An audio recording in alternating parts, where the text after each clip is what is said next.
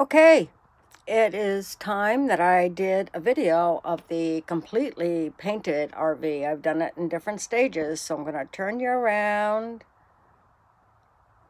I hope. There we go.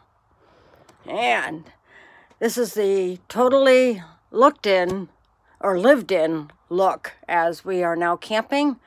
We're down in Williamsburg and uh, visiting my son. Richard's over at his house as they're working on his Mini Cooper rat rod.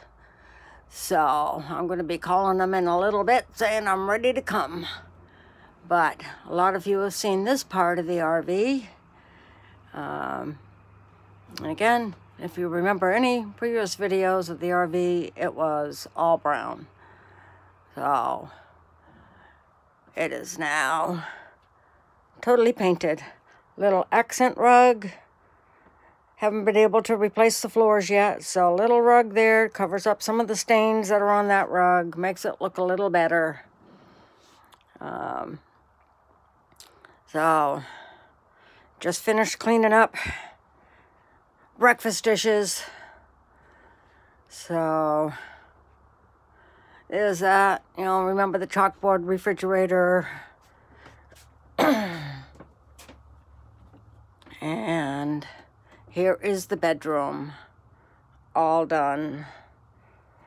Remember I showed you underneath. It's our platform bed. All of that got painted. All the cabinets up around there. Up. Hi. Our closet with the drawers. The other cabinet. Our shower, really nice shower. And you've all seen the bathroom before. So, I am so happy to have the job done.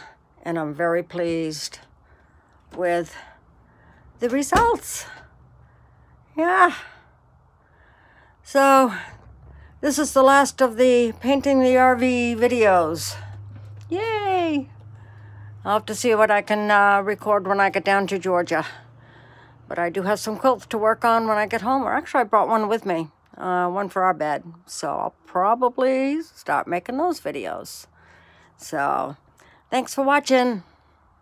Love y'all.